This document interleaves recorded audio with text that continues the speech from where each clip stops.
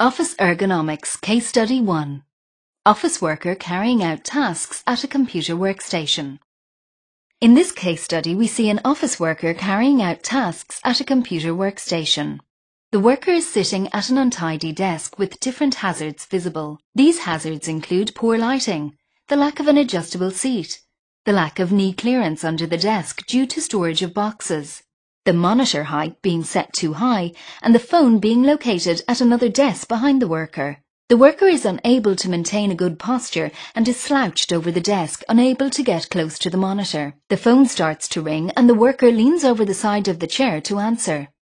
The employer needs to complete a risk assessment of the workstation in order to develop a better way of working which reduces or eliminates the risk of injury. The steps to be followed are the assessor goes to the employee workstation with assessment form. The assessor observes work practices and completes assessment. The assessor records findings and identifies follow-up actions.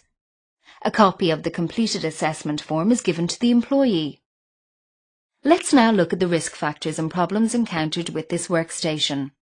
The poor working posture is caused by the monitor being too high, the seat not being adjustable, the inadequate space for the worker to find a comfortable position, the absence of a document holder, and the lighting conditions being inadequate.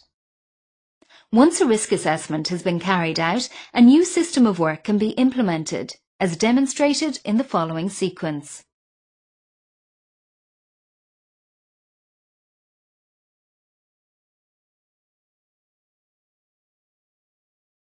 This improved computer workstation layout includes the monitor being in the correct position, the provision of an adjustable seat, knee clearance underneath the desk and the provision of a footrest, the provision of a document holder, improved lighting, the telephone being closer to the user and the worker being aware of their posture.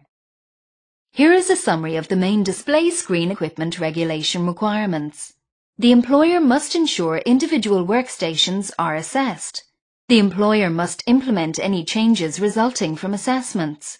The employer must make available eye and eyesight test. Display screen equipment. Assess to avoid, reduce or reorganize.